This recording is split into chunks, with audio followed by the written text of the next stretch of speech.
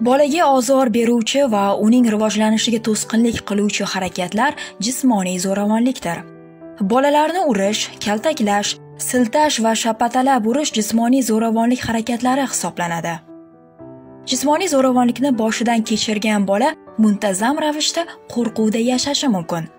Bolada tushkunlik ta'lim olish bilan bog'liq qiyinchiliklar o'ziga bo'lgan ishonchning pasayishi kuzatiladi.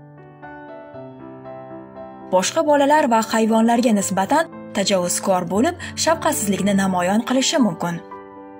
Zo'ravonlik avloddan avlodga o'tishi mumkin chunki biz ulg'ayganimizda ko'pincha oilamizda ko'rgan narsalarni takrorlaymiz.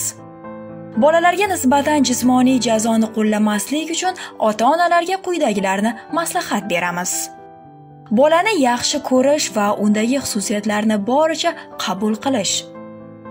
Bolaning fikrini hurmat qilish o'zining xatolarini ko'rish va ularni tan ola bilish. Oilaviy qoidalarni belgilab olish namuna bo'lish izchil bo'lib bergan va'dalarni bajarish.